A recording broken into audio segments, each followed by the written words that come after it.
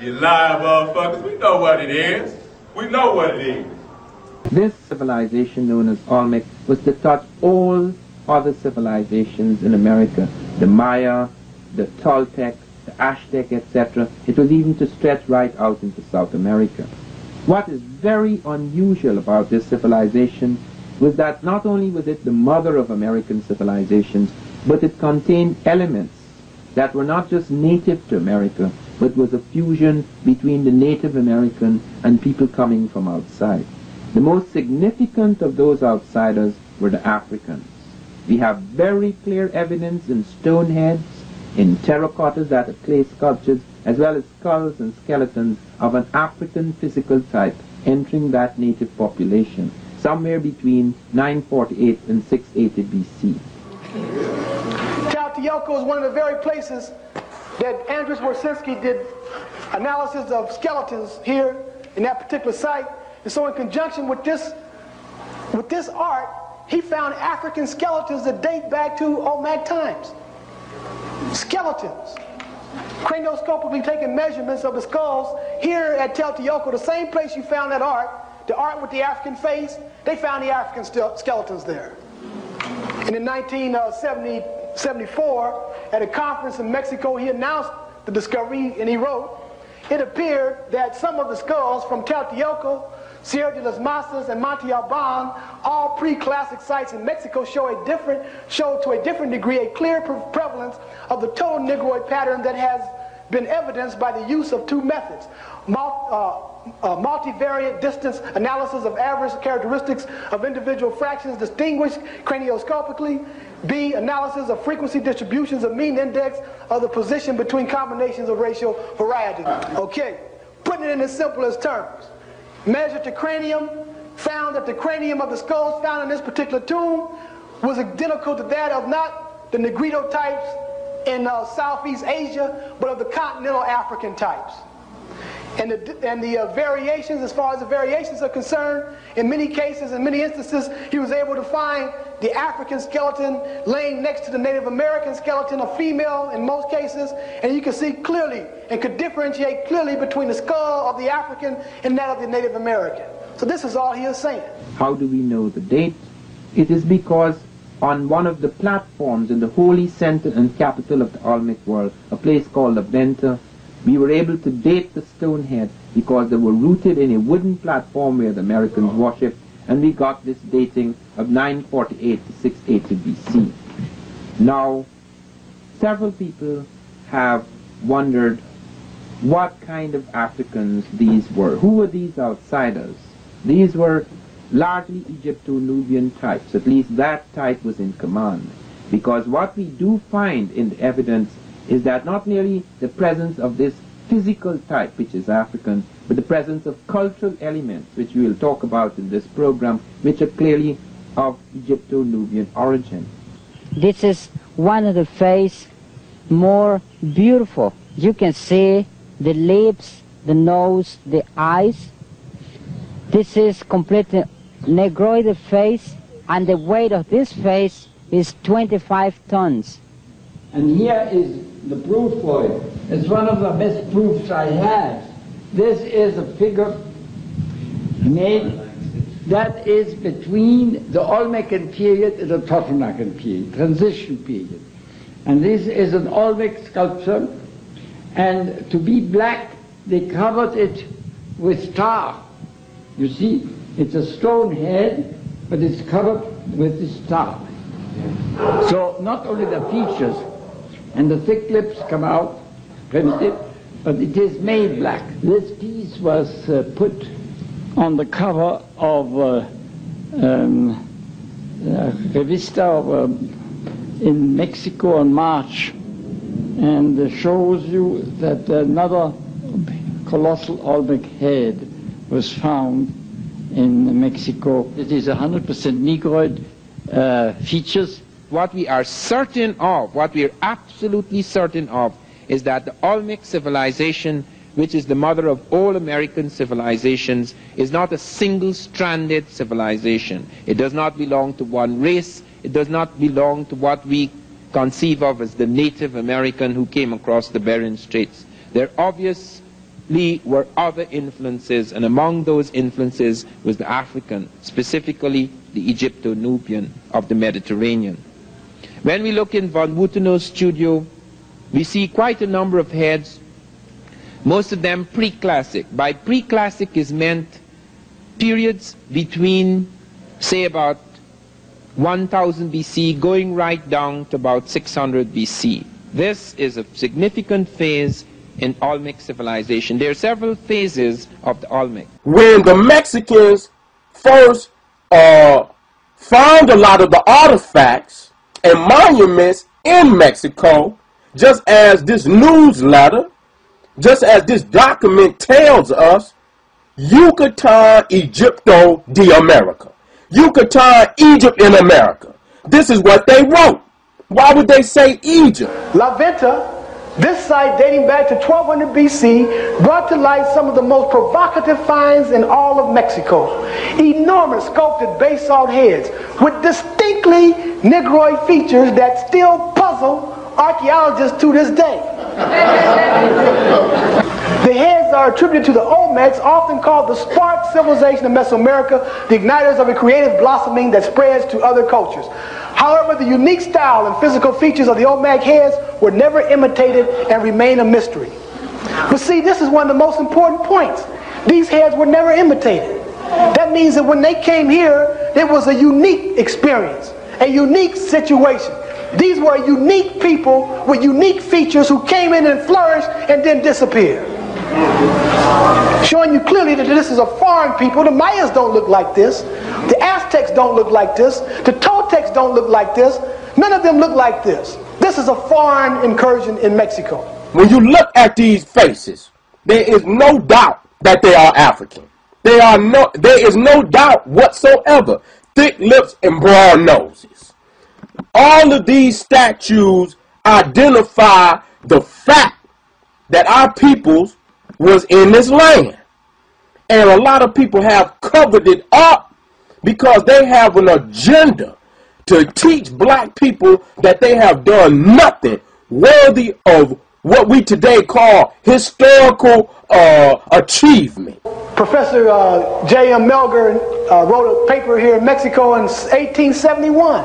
1871 about the De la Cabeza Colosso de Tipo Ethiopico, the colossal Ethiopian stone face that he had, he had witnessed to. So I'm not going to leave you to uh, hang it. I'm going to put, you, put it all in English. And, and, and, and as the scholars would say, in no uncertain terms. We're going to put it in no uncertain terms. On my arrival at the hacienda, speaking as Mel, Melgar, at, my, at the hacienda, I asked the owner to take me to look at it. We went, and I was struck with surprise. As a work of art, it is, without exaggeration, a magnificent sculpture. But what astonished me uh, was the Ethiopic type represented. I reflected that there had undoubtedly been Negroes in this country, and that this had been the first epoch of the world. Now here's an anthropologist back in 1871 who has come to this conclusion and has, has written papers on it. But this has been hidden from us. Matthew Stirling, they're just digging these things up all over the place in that area, around the Gulf Coast. Standing there, all standing there in shock, looking at it. Oh, here's another one.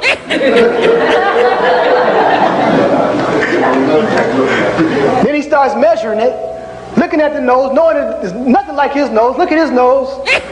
look at his nose, and look at the nose on this. Look, look at his lips, and look at the lips on this. Look at his cheek.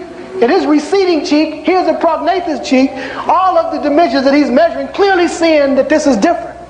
And his original position was that these were African, and when the scholarly world, the schools and universities, and then the supporting money got to him, he changed his story, Mr. Matthew Stirling. We know what it is. We know what it is. Where can you get a face like that? What in Africa? Nah, motherfucker, we know what it is. We know what it is.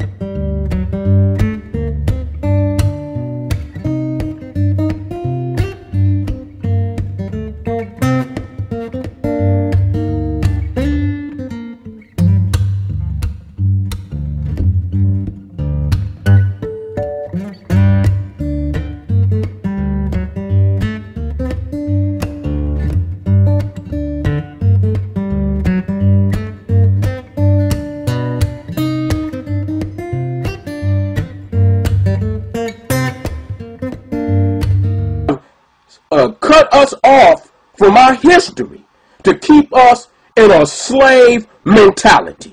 But today we are waking up, we are doing the research, and we are identifying our people and our history on all the continents. You live motherfuckers, we know what it is. We know what it is. The Olmecs came into their sites pretty early, as early as 1500 BC at San Lorenzo, as early as 1200 BC at La Venta. You must look carefully at this map and see the diamond points. Those are the capitals. And those diamond points show you where the Olmec first made their major settlements. 1858 was the discovery at Tres Zapotes of a stone head. Now this is the stone head. This is the first head to be discovered. Now look closely at this head. When the Mexicans saw this head, when their scholars saw this head, scholars like Orozco y Berra, Jose Melgar, etc., they were absolutely convinced that there were Africans in America at some ancient time. Why were they convinced? They were convinced by two things. By the African physiognomy, the, the, the, the dome of the forehead, the, the cut of the nose, the, the, the jaw, the mouth, etc., but also by something which has never been mentioned in the archaeology for some odd reason. And that is at the back of the stone head there was hair, detailed Ethiopian type hair. No Native American has hair like that.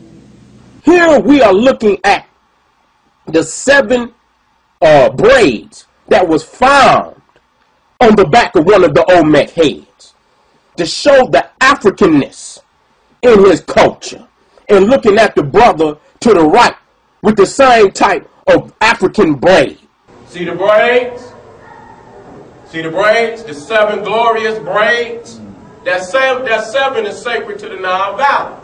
One, two, three, four, five, six, seven. And you see the brothers right now today, still rocking the same hairdo. That's in the back, that's in the back of that, that face right there. Motherfuckers had African braids and not French braids. Know, these are cultural characteristics of these people. These features are, are characteristics of our people. They go hand in hand.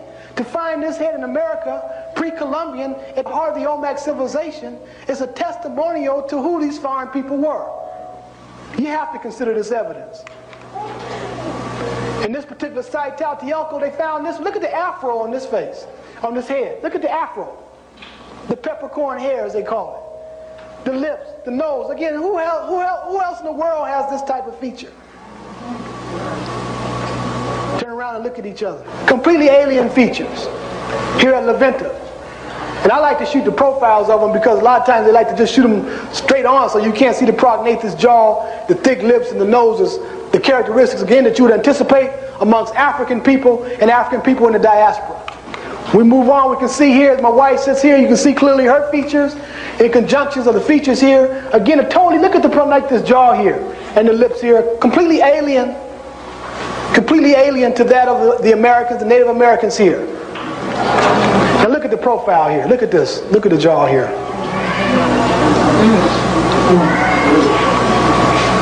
Now I take you to Kemet, to Harmachis.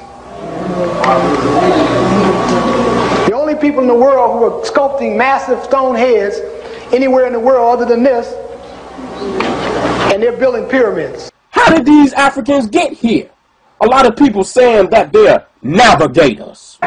Move on, we can see the, the first boats in recorded history. These are the oldest paintings of any boat on the earth, going back 4000 BC in Nubia with the goddess, the symbol of the goddess Hathor here, the great mother here, again associated with navigation.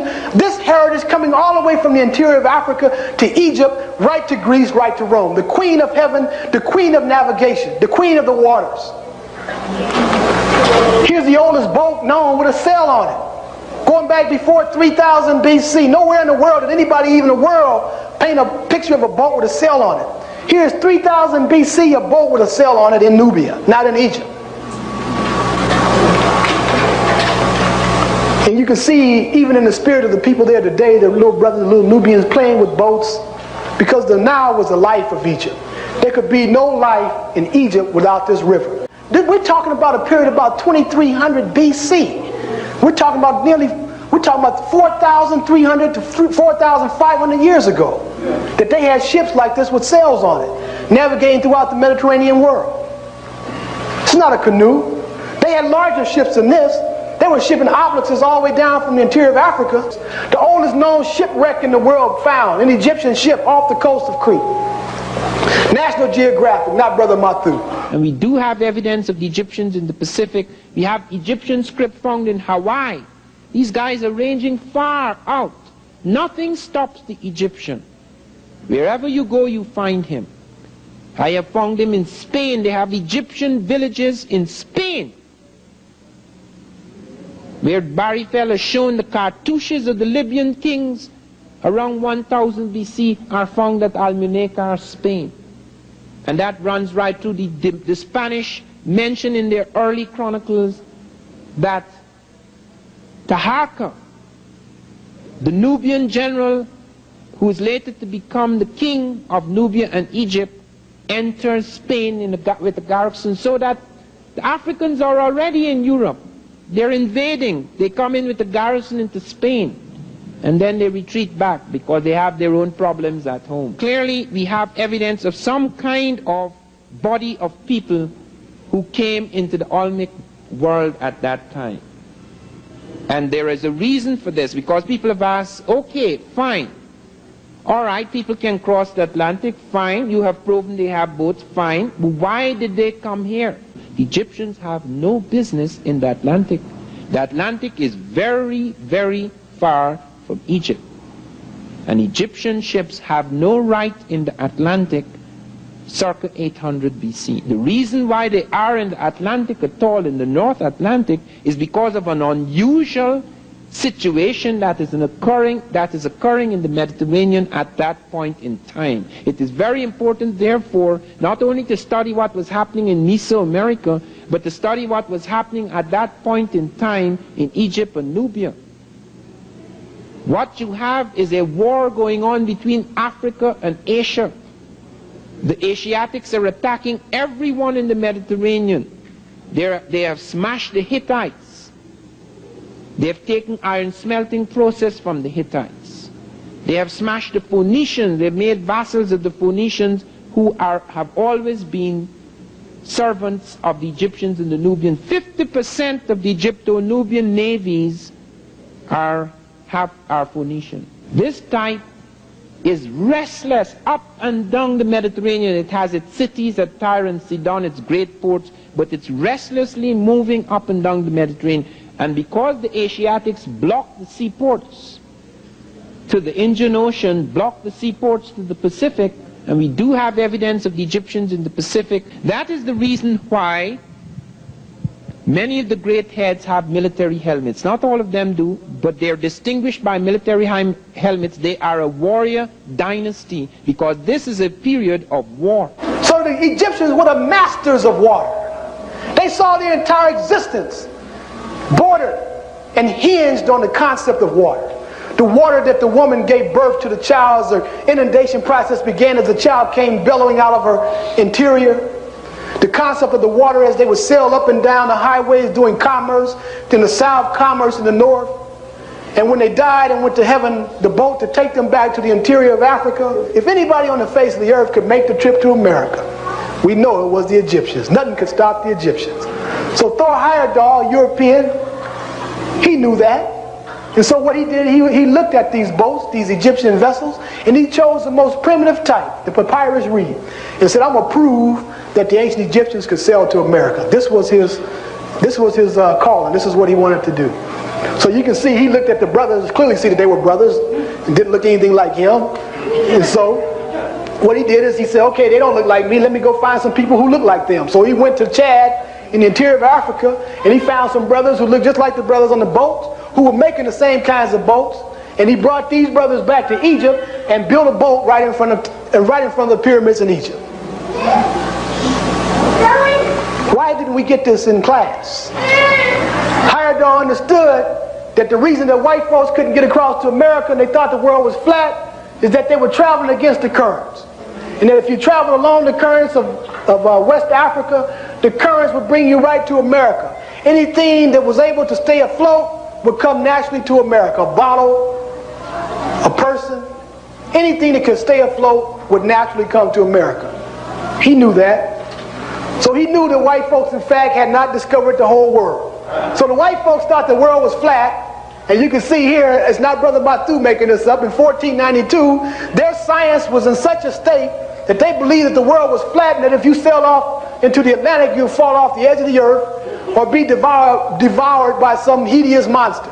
this was the extent of their science at this particular time in the year 1492. The first Africans in the Americas came from the Nile Valley. Primarily where people land is going to be where they first set up their civilization. So these peoples came across the water from Africa. You can look right at them and see that they're African people.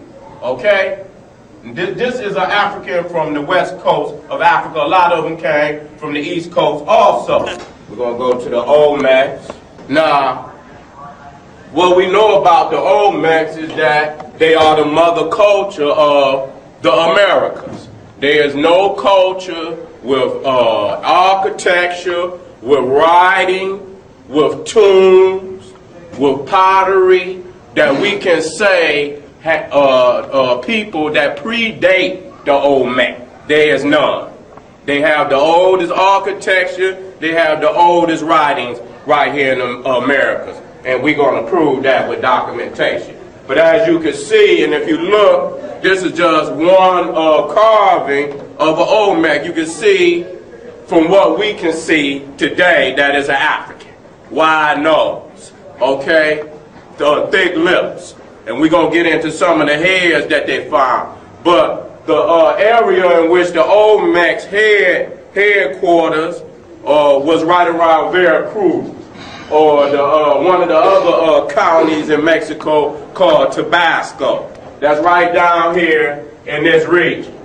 I had an opportunity to get down here.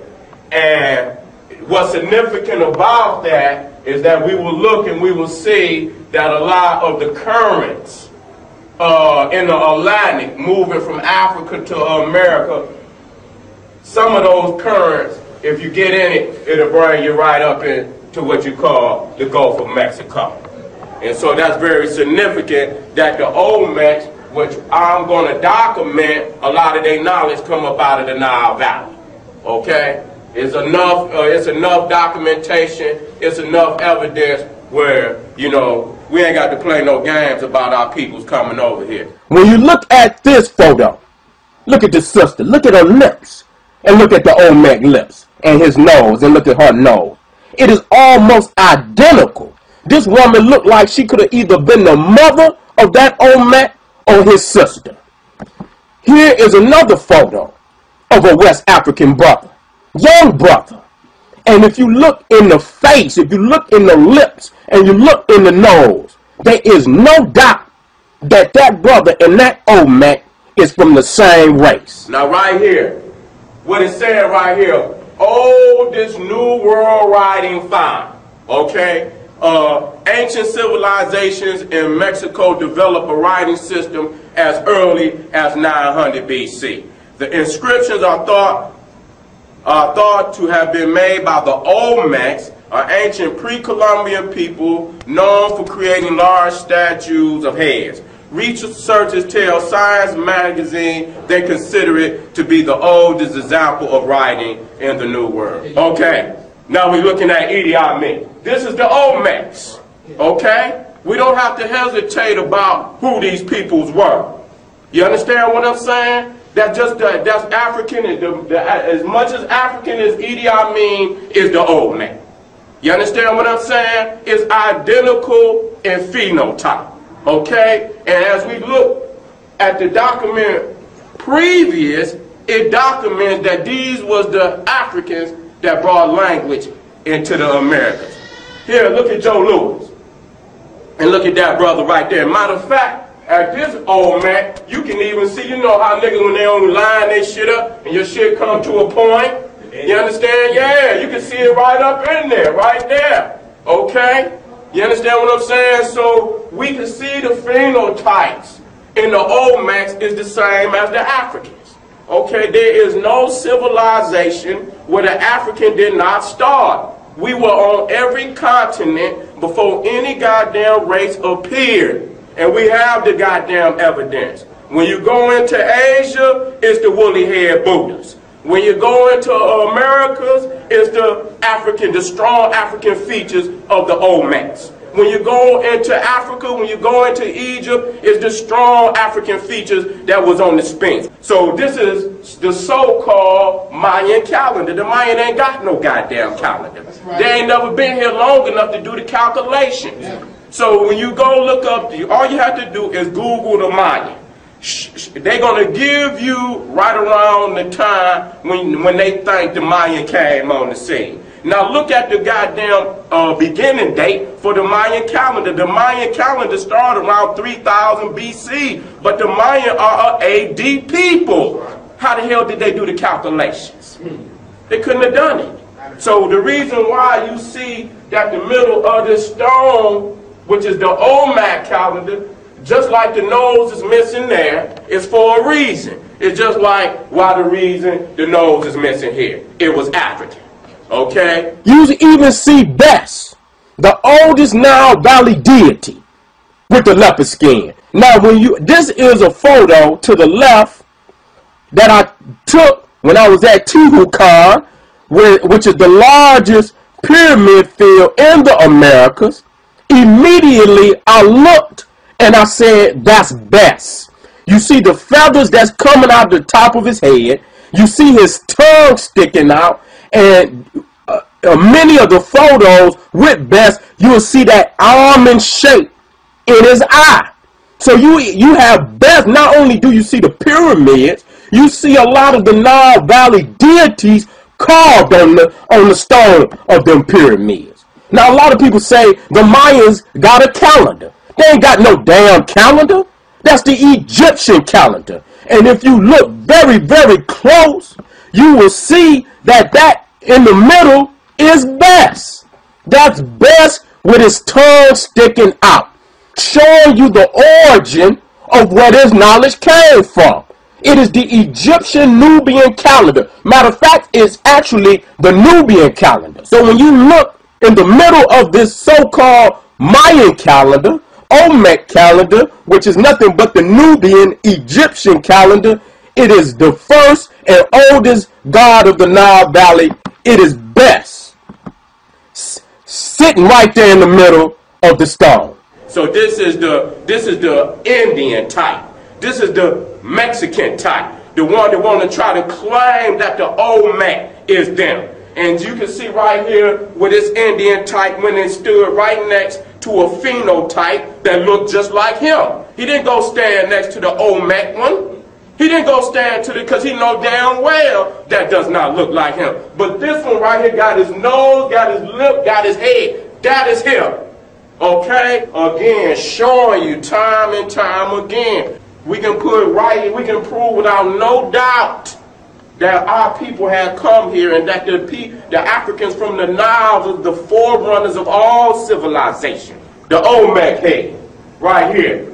And what you're looking at right here, you can see the slime in their eyes. See the slime in their eyes? Some of them have slants in their eye. Okay, this is Angkor Wat. You understand what I'm saying? If y'all here, y'all can Google that in. Angkor Wat, Cambodia, and then the heads will come up and you'll see the slants in their eyes. But they all got thick lips. These was the uh, uh, some of the early Africans in Asia, you understand, that had this particular persuasion. It was, eh, you know, in different parts of the world, different Africans congregated. We are African, but in many areas we had Africans with the slant eyes, long before the Chinese. Ain't none of them ever had every phenotype you see on this planet, we was able to produce before any of them red races came along. We produce them right here in our own rights. Okay, let me look at this. This I'm, Amenhotep third. You see the slants in his eyes.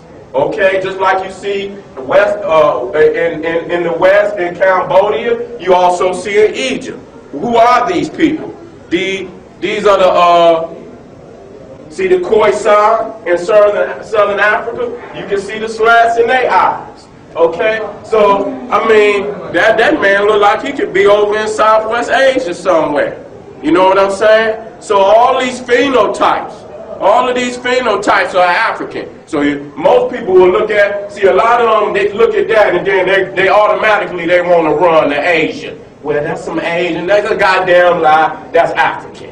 Quit lying, goddamn it. So these peoples came across the water from Africa. You can look right out and see that they're African people. Okay? This, is an African from the west coast of Africa. A lot of them came from the east coast also. Now look at the Olmecs. These are the, this is the oldest civilization in America. See the brother? Do it look just like him? All right. Y'all looking stoned. I'm going to go on. See that? See that motherfucker? That look just like him. Okay? You come back. You understand what I'm saying? So you got some motherfucking Mexicans that say this is a this is a phenotype from the Mexican race. I heard Mexicans say that shit. They try to argue that shit. But yet and still, goddamn it, you can go and look right next to, to this motherfucker and you can see that's him. Now, if they got a motherfucker that look like him, why don't they produce it right now today? Show up, motherfucker. Show me a motherfucker. If he ain't got no nigga in him, goddamn it, I don't know what he is. That's an African right there. See that? See the lips? See the nose? They're going to tell me and you that the motherfucking tools where they cut the man's face, they was bloody. They weren't sharp enough. They couldn't, they, could, they couldn't get the cuts on the motherfucker, right? To get it right. Nah, but they got the cuts on that motherfucker right there, huh? Huh? You lie, motherfuckers. We know what it is. We know what it is. Now look at it. See the Osirian poles with their arms crossed? How the hell is all of this shit coincidence? That, that, that lets you know that they have passed on. That's how, and, and motherfuckers still do it right now today. When they when they drop you down in the coffin, they cross your arms. That's an ancient. That's ancient. That that means you're gonna resurrect. If you done done right, you'll resurrect.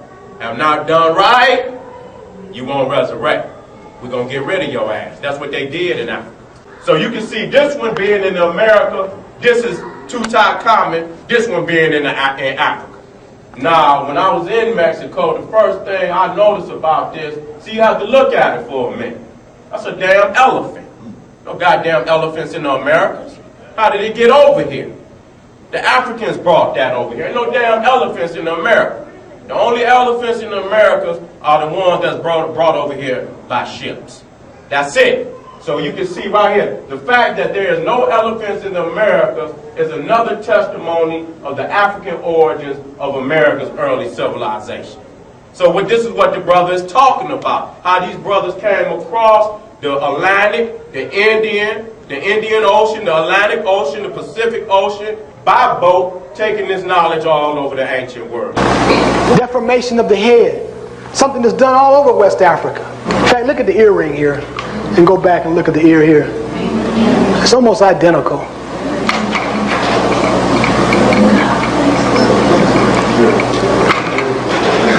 You can see the deformation that took place. They do this at birth. When the child is born, they, they uh, fasten sticks and they tie it in some manner so that they can create the shape when the brain, when the skull is still soft. So you can see it's done all over Africa, particularly in West Africa. Cultural characteristics coming across to America. When you look at something like this, then you understand how something like this gets to America pre-Columbian. Again, they're the artists are representing things that they understood, things that they could differentiate from themselves. You can see much of it still here even to this day as you go into the Amazon and you find these things being done that are being done nowhere else but in Africa.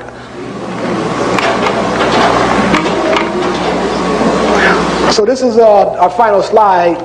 Now, one another uh, uh, painting that identified the origin of the Olmec and how they passed that knowledge down to the Aztec, Incan, and Mayan was the smiting of the enemy, where the king grabs his enemy by the hair and, be, and prepares to take off his head.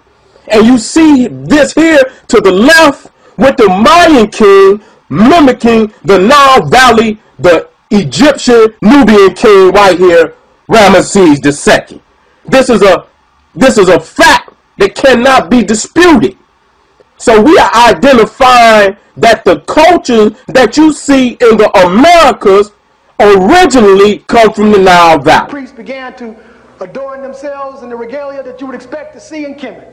As you see the symbol of the serpent, not only on the shield behind him, but the uraeus above his head, and wearing the skin of the jaguar. Look at the leopard skin again that is worn by the Egyptian priests. And again, look at the Aztec priests that wear the jaguar skin. Look at the smiting of the enemy by Narmer that had been carried all the way up into the Americas while they, where they try to copy from the Sultans of the Nile Valley. Look at Bes in the Olmec calendar with his tongue sticking out. Bes was worshipped all over the planet Earth. The, the, the mural to the left is from Teotihuacan in America. Bes was worshipped all over the world. Here is showing in San Sankore, Timbuktu, the pyramid, and in Guatemala, the pyramid, showing how it left Africa and went into the America. Here we're looking at the cap of Ptah.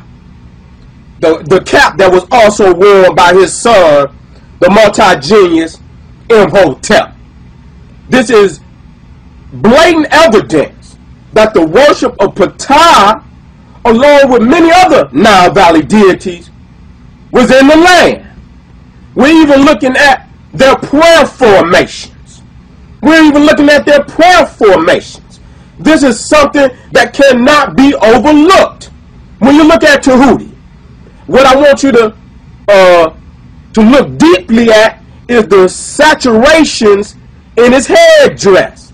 Look at the saturations in his headdress and then look at the right to the Olmec representation of Tahuti. You see those same saturations in the top of the ibis, the sacred ibis of what we call Tahuti, Jehuti.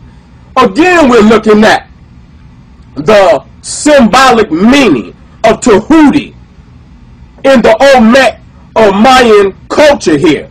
Olmec being the mother culture of all civilizations in the Americas. The mother culture. And we can easily go into the artifacts that were left by the Olmecs and see where Tahuti and Ptah was one of the major deities being worshipped here in the so-called Americas. Again, we're looking at the sacred baboon, sacred to Tahuti. We're looking at the ibis, and again, the sacred baboon of Tahuti, proving without any doubt that his great wisdom as the deity of all sacred wisdom in the Nile Valley had come to the Americas and was one of the front deities in the craft system right here on these these shores and in these lands that we call the Americas. Now on the right is an Aztec priest. What you see on the top of his headdress, a falcon. The worship of Heru. All of these deities, you got to understand that all of these deities from the Nile Valley had come to the Americas. And one way or form, shape, or, or another, that all the Nile Valley deities were being worshipped in the Americas. This is not a coincidence. You find pyramids. You find, you find the same deities on the wall. You, you find the same animals uh, uh, intertwined in the religiosity. This is no coincidence. Quetzalcoatl, the flying serpent. We also see that that originated in the Nile Valley. We also see that the flying serpent originated in the Nile Valley. Looking at this creation uh, photo of Shu holding up heaven, and, and, and, and the god is Nut represented as heaven, if you look to the top, the left and the right, you will see the two winged serpents, which the uh, uh, uh, the Olmec brought to the Americas, in which they call Quetzalcoatl. Now on this vid, look at the dead center of the Incan headdress. And you will see the eye of Ra, the eye of Heru in the middle of his headdress. So when you're looking at Teotihuacan, you got to understand that it's nothing but a replica of the Giza Plateau. But uh, it is a lesser technology, much lesser than what was in the Nile. This is looking at it from the top, showing that it is a step pyramid. It is a, that's exactly what it is, a step pyramid. For many people, it is hard to understand that even the feather that was worn by the so-called Indian is a practice that was brought here by the Africans. The feather was worn by the first people of the planet Earth, the Twa, which Europeans derogatorily call pygmies. The Twa carried the way of the feather as a rite of passage all the way down the Nile to Nubia and Kemet. This rite of passage was deified even in Ma'at and even in Amen with his two plumes atop his headdress. Bes, in many cases, is shown with a full head of feathers, as many chiefs in the so-called Americas also wore. Notice you had to be of rank to wear feathers, which shows it was a part of manhood, a part of the sacred craft. Even the totem pole, where one places their deity or god on top of a staff, notice here, the eagle atop of this totem pole. When you come into the Nile Valley at 3200 BCE, the practice is already ancient. As you see here with Narmer, the very first sultan or pharaoh of Kemet. The Twa represented in Bes are carrying the totem poles.